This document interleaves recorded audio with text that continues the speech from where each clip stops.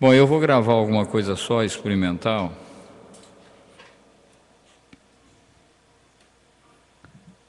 E antes eu queria ler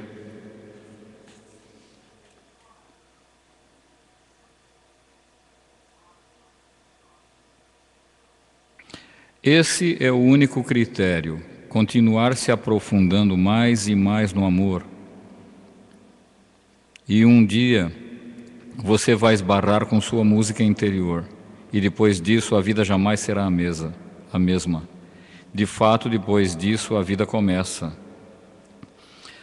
O coração do homem é um instrumento musical, ele contém uma música magnífica.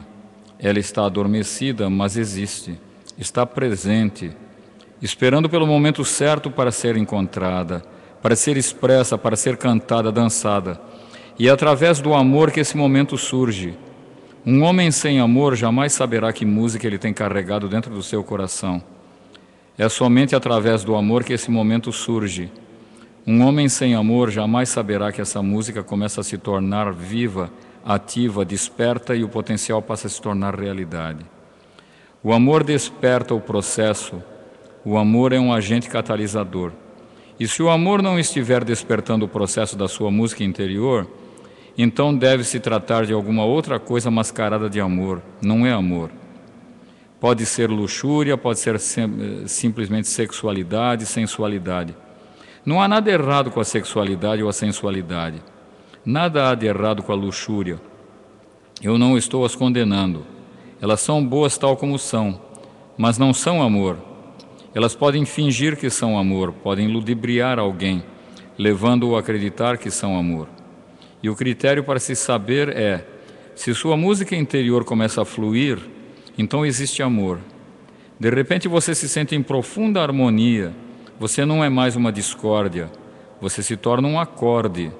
Você não é mais um caos, você se torna um cosmos. E a vida começa a ter uma nova qualidade, a qualidade do júbilo, qualidade da aleluia. Oxo, vida, amor e riso.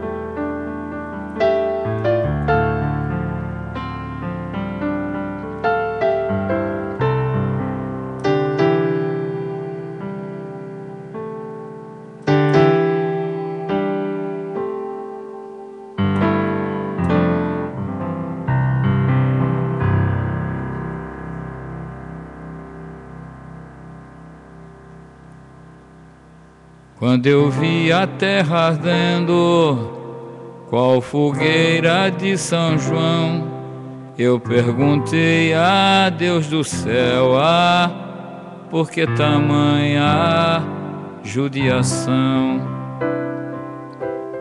Até mesmo asa branca bateu asas do sertão.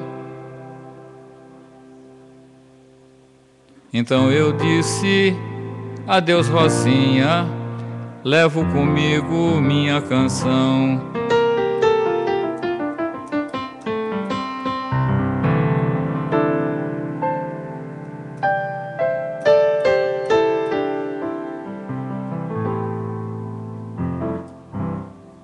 Yeah.